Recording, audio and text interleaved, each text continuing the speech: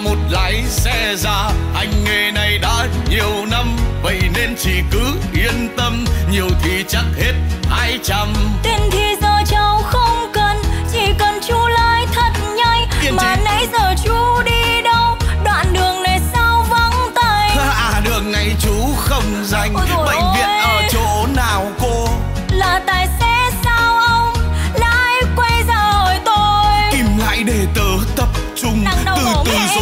hỏi thăm.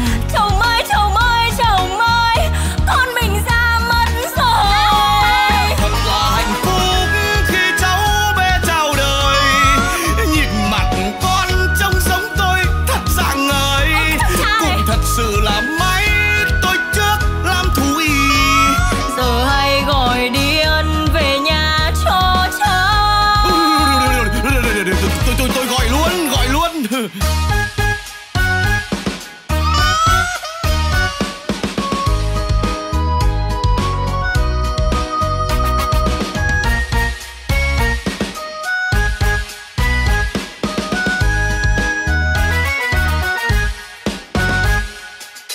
giờ thì cho cháu đi về Rê chỉ 18 phùng hưng.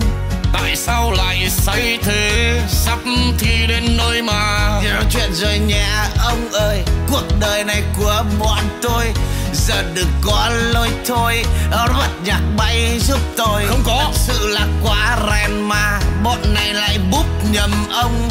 Tại sao lái xe sang Lướt nhanh đi giùm tôi. Cầm tiền một cuốc xe rồi Nhìn gì giờ hãy biến đi. Về mau đổ loa giùm tôi Xe với cộ chán đời.